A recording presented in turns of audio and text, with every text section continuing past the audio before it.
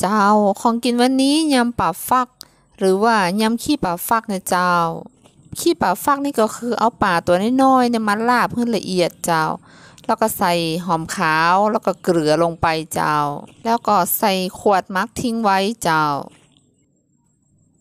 เจ้าวันนี้เขาจะมายำขี้ป่าฟักเจ้าเขาก็จะใส่จักไคร้พริกสด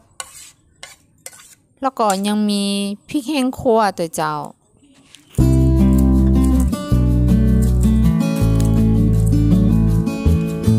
ใส่พริกนี้ใส่ตามชอบเลยเจ้าไผ่มักเผ็ดก็ใส่นักๆเลยเจ้า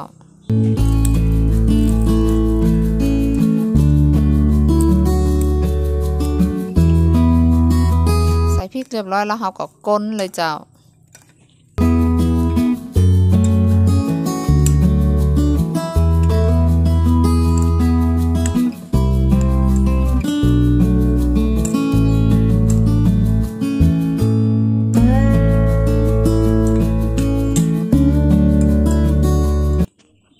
เจ้าตะอี้ก็เรียบร้อยล้วเจ้า วันนี้ผักกับของเขาเขามีน้องไม่ต้มเจ้านอนไหลต้มซุกเจ้า